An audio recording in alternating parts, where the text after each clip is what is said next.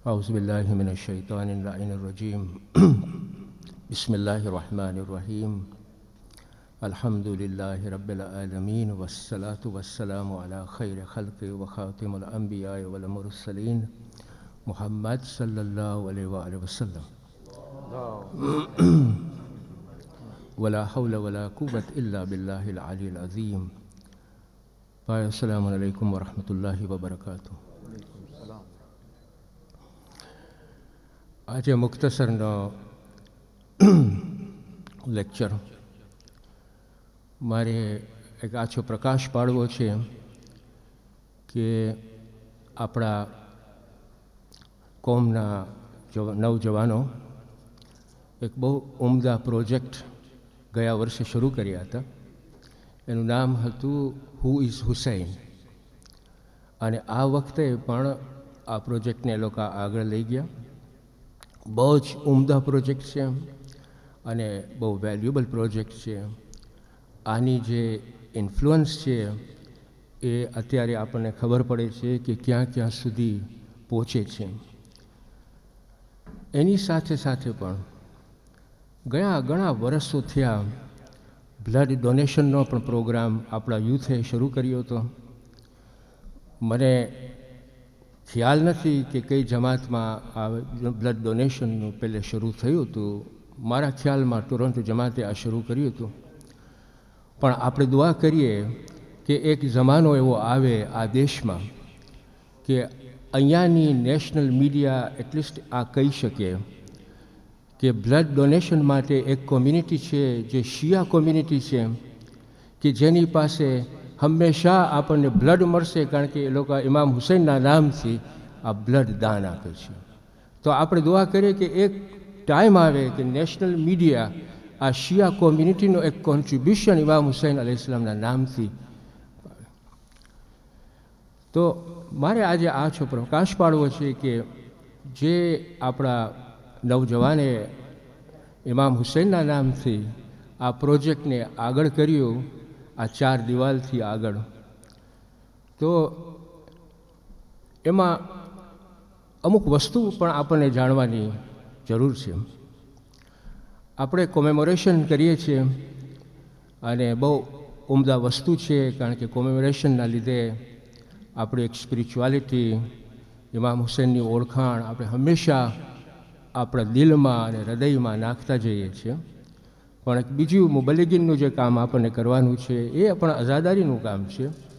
એ એ છે કે જે આ યંગ જવાન, નવજવાનોએ કર્યું છે અને એ છે કે આ જે બુદ્ધિશાળી, બુદ્ધિમાન નમૂનાઓ, એટલે કે ઇન્ટેલેક્ચ્યુઅલ પેરેડાઇમ જે ઇમામ હુસૈન અલી સલામનું છે, એની ઓળખાણ આપણા મુસલમાનોમાં અને ગેર મુસલમાનોમાં પણ કરવાની સખત જરૂર છે. શા માટે?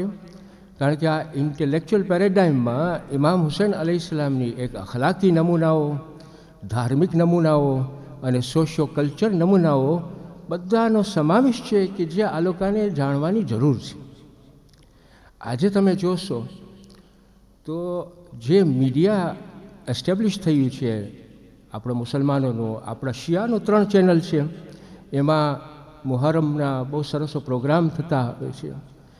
એના લીધે આજે તમે જોશો તો જે અહલ સુન્નાવલ જમાઆતના ટીવી પ્રોગ્રામો છે, એમાં પણ ઇમામ હુસેન અલી સલામનો એ લોકોએ હમણાં કરબલાના નામથી શરૂ કર્યા છે, આ બે ત્રણ વર્ષ થયા. તો એક સવાલ આપણને એ ઊભો થાય છે કે કેમ આ લોકોએ શરૂ કર્યા?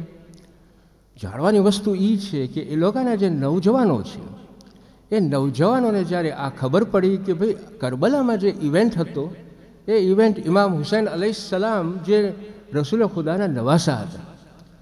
અને એનું કતલે આમ આવી રીતે થયું છે. ત્યારે એ લોકો, એ લોકોના પોતાના દાનિશમંદો હતા સ્કોલર્સ હતા, ઉલમાઓ હતા, એ લોકોને પૂછતા હતા કે ભાઈ, આપણે કેમ સેલિબ્રેટ નથી કરતા? તો એના લીધે આજે એ લોકોને આ એક વર્ઝન આપવું પડ્યું. પહેલાં નહોતા આપ્યા. મુહર્રમ સેલિબ્રેટ નહોતા કરતા. અને હવે એ લોકો આપે છે તો એવી રીતે આપે છે. કે ભાઈ, અમે આહલુલ બૈતના ચાહકો છીએ, બેશક ચાહકો છીએ. પણ અમે આ લોકોની જેમ માતમ નથી કરતા, અમે રોતા નથી. આ પણ જ્યાં હક હોય છે, એ હંમેશા હક આગળ આવશે.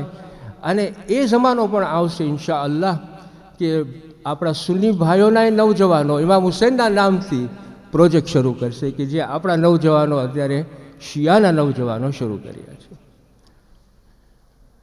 એમાં આપણને શું સમજવાનું છે, કે જે ઇન્ટેલેક્ચ્યુઅલ પેરેડાઇમ છે એ પેરેડાઇમ આપણે જ્યારે આગળ કરીએ, ત્યારે અમુક અમુક શબ્દો આપણે યુઝ કરીએ છીએ, અમુક લેંગ્વેજીસ યુઝ કરીએ છીએ, એના ઉપર આપણને જરાક વિચાર કરવો પડશે.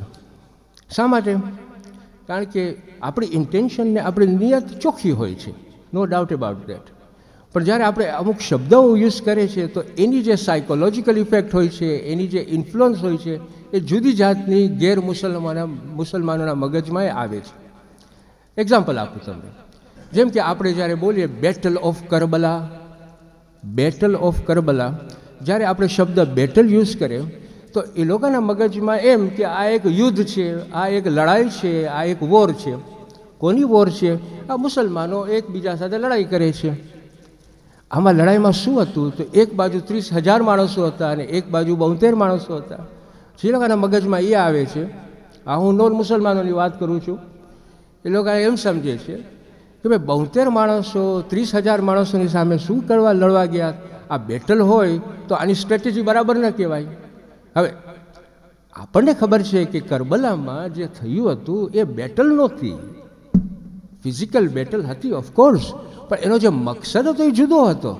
પણ જ્યારે આપણે ટાઇટલ આપણે બેટલ ઓફ કરબલા તો ઘણી વખતે એ લોકોના મગજમાં આવી વસ્તુઓ આવી જાય છે કે જેના થકી એક ઇન્ટેલેક્ચ્યુઅલ પેરેડાઇમ જે છે જે મકસદ છે ઇમામ હુસેનનો, એ મકસદ જરાક ઓછો થઈ જાય છે. એટલે આપણે લેંગ્વેજ જે આપણે યુઝ કરતા હોઈએ છીએ, એના ઉપર આપણને ધ્યાન રાખવું પડે. બીજું એક્ઝામ્પલ આપું ટ્રેજેડી ઓફ કરબલા ટ્રેજેડીમાં શું છે કે ઇંગ્લિશમાં ટ્રેજેડીનો મતલબ એમ કે એક ટ્રેજેડી થઈ ગઈ, જેમ કે એક્સિડન્ટ થઈ ગયું. એમાં વાંક હોય, પણ સોએ સો ટકા વાંક કોઈનો નથી. એક ટ્રેજેડી છે. કાર એક્સિડન્ટ થઈ ગયું. ગાડી ચાલતી હતી. એની નિયત નહોતી કે આને મારવાની, પણ એક્સિડન્ટ થઈ ગયું. એટલે આપણે ઘણી વખતે એવા ઇવેન્ટ્સને આપણે કહીએ ટ્રેજેડી તો ટ્રેજેડી ઓફ કરબલાએ પણ જે ઇવેન્ટ કિસ્સો કરબલામાં થયો તો, એ બરાબર નહોતો આપ, બરાબર નથી આપતો. એટલે ટ્રેજેડી એ બરાબર ન કહેવાય. કહેવાય. પણ જે મકસદ હતો એ મકસદને પૂરો નથી પાડતો. કરબલામાં જે થયું હતું એ કતલે આમ હતું. એ માસેકર હતું માસેકર ઓફ કરબલાનો મતલબ એમ કે એક માણસ, એક જુલ્મી માણસ, એક જાનવરી માણસ, એક ખૂની માણસ, ઇન્સાનિયતને મૂકી અને કતલે આમ કર્યું હતું. મર્ડર કર્યું હતું, ખૂન કર્યું હવે એવા શબ્દો ઘણી વખતે આપણને યુઝ કરવા પડે તો ખબર પડે કે જે ગેર મુસલમાનો આ કરબલાને સમજવાની કોશિશ કરતા હોય આજની લેંગ્વેજમાં તો આજની લેંગ્વેજ શું છે?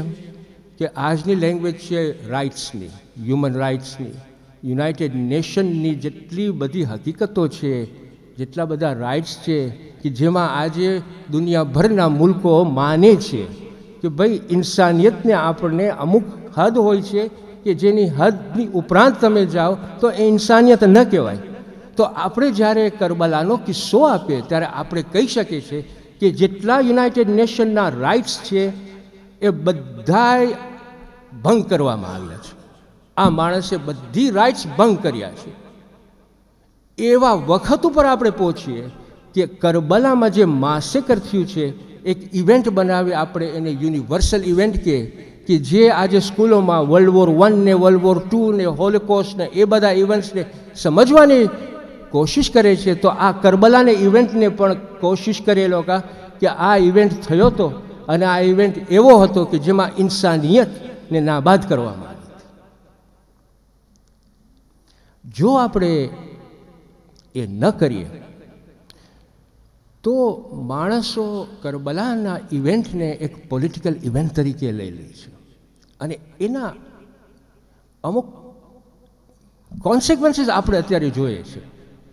તમે એકેડેમિક વર્લ્ડમાં જાઓ અને બુક ખોલશો, તો આજે બુકમાં આપણને એવી રીતે ચિતાર આપવામાં આવે છે કે હા, યઝીદ બહુ એક નકામો માણસ હતો, એક જુલ્મી માણસ હતો. પણ એક પોલિટિશિયન હતો. સમજ્યા? એક પોલિટિશિયન હતો ને સ્કિલફુલ માણસ હતો. આ બુકમાં લખેલા છે.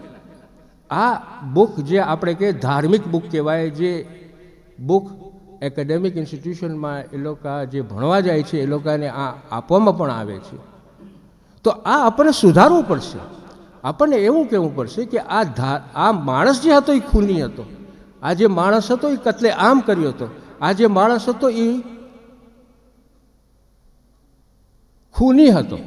અને એનો બાપ જે હતો એ મોઆવ્યા હતો. અને મોઆવ્યાએ આને આ પદવી ઉપર રાખ્યો હતો. મોઆવ્યાને એ લોકો રિકન્સ્ટ્રક્ટ કરી નાખ્યા છે. રિકન્સ્ટ્રક્ટનો મતલબ એમ કે એક ખલીફા હવે ટાઈમ એવો આવે છે કે યઝીદને એ લોકો રિકન્સ્ટ્રક્ટ કરે છે. પણ આપણી જવાબદારી છે કે આપણે સમજાવે દુનિયાને કે આ જે વસ્તુ થઈ હતી ઇન્સાનિયત માટે નહોતી. આને તમે પોલિટિકલ સ્ટાન્સ ના આપો. આને એ સ્ટાન્સ આપો કે જેમ કે હોલોકોસ્ટ થયું હતું, એવી જ રીતે આ એક ઇવેન્ટ થયો હતો કે જેમાં માસિકર થયું હતું અને આ માણસ ખૂની આ કામ કરવાની આપણને જરૂર છે. શખ્સ સદુક એ રિવાયત કરે છે આઠમા ઇમામ ઇમામ અલી રઝા અલી સાંભળવા જેવી છે. ઇમામ અલી રઝા ઇસ્લામ જ્યારે ઇબ્ન શદીદને મુહર્રમ મહિનાની વાત કરે છે, ત્યારે એણે શું કહ્યું ઇબ્ન શદીદને? કે, ઇબ્ન શદીદ આ જે મુહર્રમ મહિનો આવ્યો છે. તમને ખબર છે કે મુહર્રમ મહિનામાં મુહરમ મહિનામાં જહાલિયતો માણસો મુહરમ મહિનાની રિસ્પેક્ટ કરતા હતા. એ કે, આ ઉમ્મત મુહરમ મહિનાની રિસ્પેક્ટ નથી કર્યા. એ કે, આ મહિનામાં ઇમામ હુસૈન અલી સલામને મારી ઉમ્મતે આવી રીતે કતલ કર્યા છે. ઇમને શદીદ એ કે તને રોવું હોય તો ઇમામ હુસૈન ઉપર તું રો. શા માટે? કારણ કે એને બકરી હોય ને, કે ઘેટું હોય ને, એ ઘેટાની માફક જબા કરવામાં આવ્યું છે. અને એ ટાઈમે કે સાત આસમાનો અને સાત જમીનો ઇમામ હુસૈન ઉપર રોયા તો ઇમામ અલી રઝા અલી સલામ ઇબ્ને શદીદને શું વાત કરે છે? ઇબ્ને શદીદને એક પોલિટિકલ સ્ટાન્સ નથી આપતા. ઇબ્ને શદીદને એક ઇન્સાનિયતનો સ્ટાન્સ આપ્યો છે કે ઇબ્ને શદીદ આ ઇન્સાનિયત નહોતી. જો આપણે આ કામો નહીં કરીએ, તો આગળ જતાં આગળ જતાં આવા પોલિટિકલ કોનોટેશન્સ આપી આપી ને યઝીદ અને યઝીદિયતને માન આપવાનું કોશિશ કરવામાં આવશે. જે લોકો આવા માનવાવાળાઓ છે. મને એક ઇન્સ્ટન્સ હમણાં યાદ આવ્યું, તમારી સામે રજૂ કરું છું. સ્કોટલેન્ડમાં એક યુનિવર્સિટી હતી કે જે એક સેમિનાર રાખ્યો. વાલેકુમ સલામ. બે હજાર નવમાં. એ સેમિનારનું નામ હતું ટેક્સ્ચ્યુઅલ રેવોલ્યુશન રેવોલ્યુશનનો મતલબ સમજો છો ને? ટેક્સ્ચ્યુઅલ મીન્સ શબ્દોના રેવોલ્યુશન એ થીમ હતું. એમાં બધી જાતના પેપરો આવ્યા હતા. પોલિટિકલ રેવોલ્યુશનના લિટરરી રેવોલ્યુશનના ફિલોસોફિકલ રેવોલ્યુશનના સોશિયલ રેવોલ્યુશનના કલ્ચરલ રેવોલ્યુશનના એમાં એક પેપર પણ હતું. એનું નામ હતું અલ હુસૈન હ્યુમન કોન્શિયન્સ આશિયા બિરાદર હતો જ્યાં પેપર લખ્યું હતું ને પ્રેઝન્ટ કર્યું. એ લખે છે એના આર્ટિકલમાં કે મને ચાન્સ મળ્યો આ પેપર આપવાનો, ઇમામ હુસૈન ઉપર. અલ હુસૈન હ્યુમન કોન્શિયન્સ આ સ્કોટલેન્ડ યુનિવર્સિટીની વાત છે, બે હજાર નવની. કે જ્યારે હું ઊભો થયો, ત્યારે પ્રોફેસરો હતા, જે અમેરિકાથી આવ્યા હતા, ઇંગ્લેન્ડથી આવ્યા હતા બધા બેઠા હતા ત્યાં. મેં કરબલાનો કિસ્સો બયાન કર્યો કે કરબલામાં એકચ્યુઅલી થયું શું? ઇન્સાનિયતનો મેં કિસ્સો બયાન કર્યો કે જો આ યઝીદની બે ઇન્સાનિયત અને જાનવરી હતી અને અહીંયા ઇમામ હુસેનને આવી રીતે કતલે આમ અને એની ફેમિલીને કતલે આમ. એ કે મેં આખો કિસ્સો કરબાલાનો આપ્યો. કે મેં જ્યારે પતાવ્યું, ત્યારે નોર્મલી શું થાય કે જ્યારે આપણે પ્રેઝન્ટેશન આપીએ ને યુનિવર્સિટીમાં કે એકેડેમિક સર્કલમાં તો પ્રેઝન્ટેશન આપ્યા પછી માણસો કાં તો તાળી પાડે અને પછી પોતપોતાની વાતો શરૂ કરે. એ આ બિરાદર કહે છે કે મેં જ્યારે આ કિસ્સો આપ્યો તો એ કે થોડા સમય મીન્સ થોડાક ટાઈમ માટે માણસો ખાલી શાંત જ બેઠા હતા. ને મારી નજર એક પ્રોફેસર ઉપર પડી. એ પ્રોફેસરના આંખમાંથી આંસુ નીકળતા હતા. અને નવાઈની વાત એ હતી કે એ આ પહેલી વાર સાંભળે છે. ને આ સંસ્થા હતી જેમાં આ બધા બેઠા હતા આપણે કહીએ કે ભણેલા ગણેલાઓ આ પહેલી વાર આ કે કિસ્સો સાંભળ્યો, કરબલાનો. અને જ્યારે આ કિસ્સો સાંભળ્યો તો નવાઈની વાત એ કે અત્યાર સુધી આટલા ઇન્ટેલેક્ચ્યુઅલ માણસો વેસ્ટમાં કરબલાના કિસ્સાને હજી ઓળખતા નથી. તો કેટલું આપણી પાસે કામ કરવાની જરૂર છે અહીંયા? અને એ પ્રોફેસરો આવીને એને કહે છે, આ પહેલી વાર અમે આ સાંભળ્યા કે આ માસેકર કરબલામાં ચૌદસો વર્ષ પહેલાં થયું હતું. ત્યારે આ બિરાદર લખે છે એના આર્ટિકલમાં પાછું. એ કે કા શીખે કે આપણા ઇન્ટેલેક્ચ્યુઅલ્સ આપણા સ્કોલર્સ આપણા દાનિશમંદો, એ કે એક આઈવરી ટાવરમાં બેઠા હોય અને પોતાની કિતાબો લખતા હોય અને સોસાયટીમાં જ્યારે અન્યાયો થતા હોય અને કાંઈ બોલે નહીં, તો કે આ દાનિશમંદોનું શું કામ? એના કરતાં એક અબુઝર હોવો જોઈએ આપણી પાસે, જે મુબલ્લિગીન હોય, કે જે વાત કરે, જે અવાજ કરે કે અહીંયા અન્યાય થયો છે તો આખી કોમને એક ફરી રેવોલ્યુશનમાં લઈ આવી શકે છે. જેમ કે ઇમામ ખોમૈની અલૈહિ સલામ એક મુબલ્લિગીન હતા એક અબુઝર આપણા ટાઈમમાં હતા. સલવાર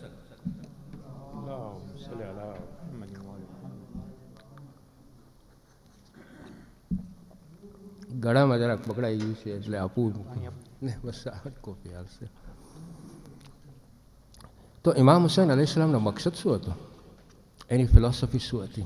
એ આપણે જાણવાની કોશિશ કરીએ બિફોર આઈ એન્ડ છે ટાઈમ ને થોડું ઘણું? ઇમામ હુસૈન અલીસલામ મદીનાથી મક્કા ગયા. કેટલા માઇલ દૂર?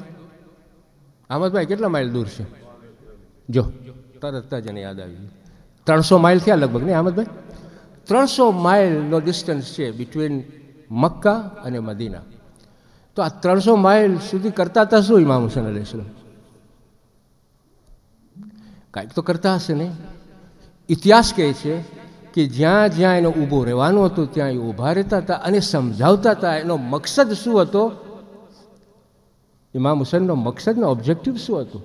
એ કહેતા હતા કે મારો મકસદ એ છે કે મારા નાનાની ઉમ્મતને હું સરખી રીતે જે ઇસ્લામ છે એ હું એને સમજાવું ને એના ઉપર એને લઈ આવું.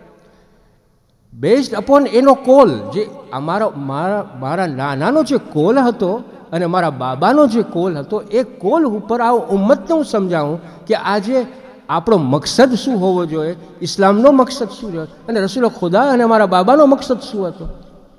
આ સમજાવતા. કેવી રીતે સમજાવતા હતા? ડિસ્કશન કરતા હતા આર્ગ્યુમેન્ટ્સ કરતા હતા, શિખામણો આપતા હતા, અભિપ્રાયો આપતા હતા. એવી જ રીતે જ્યારે મક્કાથી કુફા ગયા તો લગભગ બારસો માઇલનો ડિસ્ટન્સ છે. ત્યાં પણ એ જ વસ્તુ કરતા હતા. અંતે એનું કોન્ક્લુઝન ક્યારે આપ્યા? આ મકસદો જે હતા, એનું જે કોન્ક્લુઝન હતું એ કોન્ક્લુઝન ક્યારે આપ્યા? આશુરાના દિવસે જ્યારે ખુતબો પડ્યા ને, ત્યારે આપ્યા.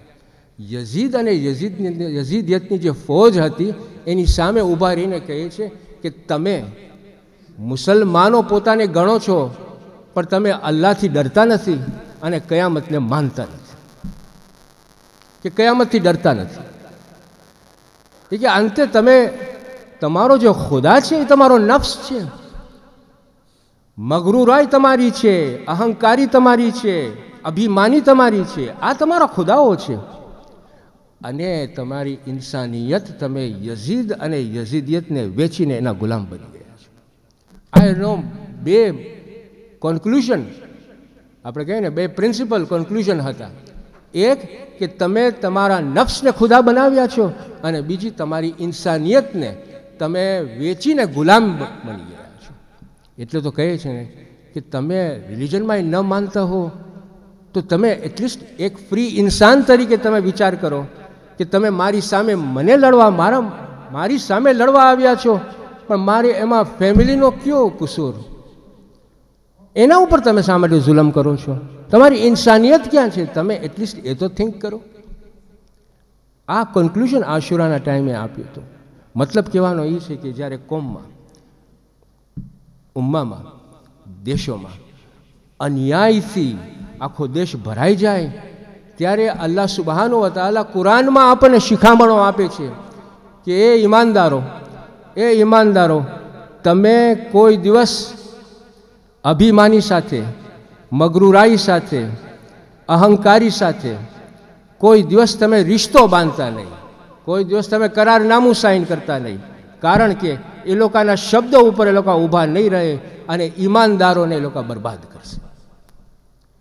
ત્યારે આપણા કોમમાં કે આપણા દેશોમાં જ્યારે અહંકારી આવે, અહંકારીનો મતલબ શું? એરોગન્સ જ્યારે એરોગન્સ આવે મગરુરાયનો મકસદ શું? પ્રાઇડ જ્યારે પ્રાઇડ આવે અને જ્યારે અભિમાની આવે કે અમારા જેવું કાંઈ નથી, ત્યારે સામનો હંમેશા આપણને કરવો જોઈએ. અને ઇમામ હુસૈન એટલે જ યઝીદનો સામનો કર્યા હતા કે આ અભિમાની, આ મગરૂરાઈ, આ બે ઇન્સાની, આ જાનવરી જે પ્રિન્સિપલ ઉપર આ કામ કરે છે, એ પ્રિન્સિપલનો સામનો હું કરીશ.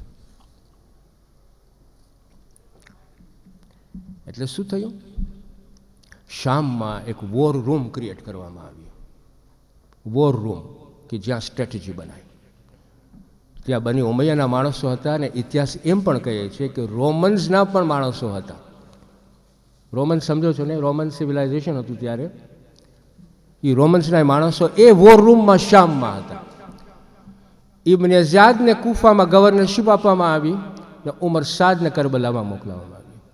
વોર રૂમમાંથી એક સ્ટ્રેટેજી બનાવી ત્યાંથી હુકમો ઇબને ઝાદને જાય કુફામાં. અને ઇબને ઝિયાદ કુફાથી હુકમો મોકલાવે ઉમર શાહ અને હુકમ એક ગયો. કયો હુકમ હતો? કે હજી ઇમામ હુસૈન અલૈહ સલામ પહોંચ્યા નહોતા કરબલા. હુકમ એ હતો કે ઇમામ હુસૈન અલૈહ સલામ ઉપર એટલી જાતની ડિફિકલ્ટીઝ તમે નાખો કે એ કોઈ પણ જાતની ગામડાઓ અને ગામડાઓના માણસો પાસેથી મદદ ન મળી શકે? એક. બીજું કે પડછાયો ન મળે અને ત્રીજું કે પાણીની બાજુમાં એને તમે કોઈ પણ જાતની જગા નહીં આપતા. આ હુકમ હતો? ક્યાંથી આવ્યો હતો? શામથી આવ્યો હતો. ક્યાં ગયો હતો? ઇબને ઝિયાદ પાસે. ઇબને ઝિયાદથી બને. ઉમર ઇબને સાદ. આ હુકમ આવ્યો એટલે આ હુકમ ગયો કોની પાસે? હુર પાસે. હુરને અટકાવવાની જરૂરત પડી. ઇમામ હુસેન અલૈહિસ્સલામને એટલે એક જગા ઉપર ઇમામ હુસેનને લઈ આવવામાં આવ્યું કે જે જગા, રણ જેવી જગા હતી. અને એણે પૂછ્યું કે આ જગાનું નામ શું છે? તો અમુકે કીધું કે આ નૈનવા છે અમુકે કીધું આ ફાઝલાઈ છે, આ અમુકે કીધું આ કરબલા છે. જ્યારે એને ખબર પડી કે આ કરબલા છે, ત્યારે એણે હુકમ આપ્યો કે આ જગા ઉપર હવે તંબુઓ બાંધો તમે. વીસ વર્ષ પહેલાં ઇમામ અલી અલી સલામ જંગે સિફિનથી નીકળતા હતા, ઘોડે સવાર હતા, આ જગા ઉપરથી પસાર થયા. એ ઘોડા ઉપરથી ઉતરી મુઠ્ઠીમાં રેતી લઈને સૂંઘ્યા. અને પછી એના અસાબોને વાત કરે છે કે એક ટોળું આવશે કે જે ચાહકો હશે. અસાબોને ત્યારે ખબર ન પડી. એના ઇમામ અલી અલાઈસલામ સલામ બે રકાત નમાઝ પર પડી ત્યાં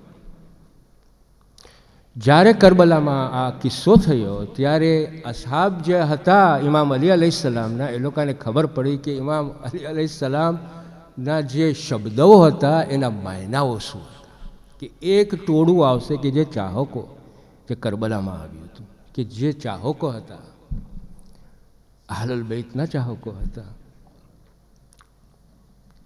બીજી મુહર્રમમાં ઇમામ અલી, હુસૈન અલી સલામ હુકમ આપે છે કે તંબુઓ તમે બાંધો. તો પહેલું જે સર્કલ હતું તંબુઓ બાંધવાનું, એ હતું બૈરાઓનું અને બચ્ચાઓનું. એને ઘેરાઈને જે તંબુઓ બંધાણા હતા, એ હતા બની હાશમના. અને એના પછી જે તંબુઓ હતા, એ હતા અસાબોના. આ દ્રશ્ય હતું બીજી મોહરમનું સાતમી મોહરમથી પાણી બંધ થયું. અને એક તંબુમાં કૂઝા હતા, એમ કૂઝામાં પાણી રહેતું હતું. જ્યારે પાણી બંધ થયું, ત્યારે છેલ્લે છેલ્લે તમે જુઓ તો ટીપા પડતા હોય તો એ ટીપા જમીન ઉપર પડે તો જમીન જરાક ભીની લાગે. આઠમી મોહરમમાં બચ્ચાઓ, બની હાશમના બચ્ચાઓ, અસાબોના બચ્ચાઓ, કે જે પાણી ગોતવા એ તંબુઓમાં જતા હતા, એ જોતા હતા કે પાણી તંબુઓ કુઝાને ખલાસ થઈ ગયા છે, પાણી નથી. પણ ગરમી એટલી હતી તો પોતાના કપડાં ઊંચા કરી છાતી અને પેટનો ભાગ એ જે ભીની જમીન હતી ને એના ઉપર એ રાખતા હતા, તો લગાને જરાક એમ મળે કે વિનાશ મળે. પણ અલ અતશનો અવાજ આઠમી મોહરમથી શરૂ થયો, દસમી મોહરમ સુધી. આ દ્રશ્ય હતું અલ અતશનું શબે આશુર એટલે કે આશુરાની રાતના ઇમામ હુસેન સલામ હુકમ આપે છે કે હવે તંબુઓ ક્લોઝલી બાંધો રસ્સીથી કારણ કે ખબર છે કે હવે લડાઈનો હુકમ આવી ગયો છે. બાંધ્યા અને પછી હુકમ આપ્યો કે ત્રિકોણ એટલે કે પછવાડેનો ભાગ ત્રણ બાજુ, આ સાઈડ આ સાઈડના પછવાડે. એમાં તમે એક ડીચ ખોલો, ખોદો. અને ડીશમાં લીલામ નાખીને આગ બાળો. જેથી કરીને દુશ્મનો પછવાડેના ભાગથી આપણને હુમલો ન કરે. એક જ રસ્તો તમે ખુલ્લો રાખો. એ રસ્તો એ લોકોએ ખુલ્લો રાખ્યો. આ દ્રશ્ય હતું શબે આશુરનું. જ્યાં હઝરત અબ્બાસ અલી સલામ હતા, અલી અકબર હતા, કાસિમ હતા, ઓનો મોહમ્મદ હતા. ઝહોરના ટાઈમે, આશુરાના ઝહોરના ટાઈમે દ્રશ્ય એ હતું કે ઉમેલુલ્લા લૈલા અલી અકબરને શહાદત જોઈ ઉમ્મે રૂબાબ અલી અસગરની શહાદત જોઈ કાસિમની શહાદતો જોઈ ઓન મુહમ્મદની શહાદતો જોઈ એ વખત પણ આવ્યો, તમે જો એ દ્રશ્ય આવ્યો. તમે જુઓ પિક્ચર કરો. એ જ રસ્તો ખુલ્લો હતો, એ વખત આવ્યો કે જ્યારે ઇમામ હુસેન સલામ અવાજ આપે છે કે મારે, મને કોઈ મદદ કરવાવાળું છે, ત્યારે છ મહિનાનો અલી અસગર પણ એના, એની રીતે ઇમામ હુસૈનને જવાબ આપે છે કે હા, એક મદદ કરવાવાળો હું પણ છું. અને જ્યારે અલી અસગર એને લઈ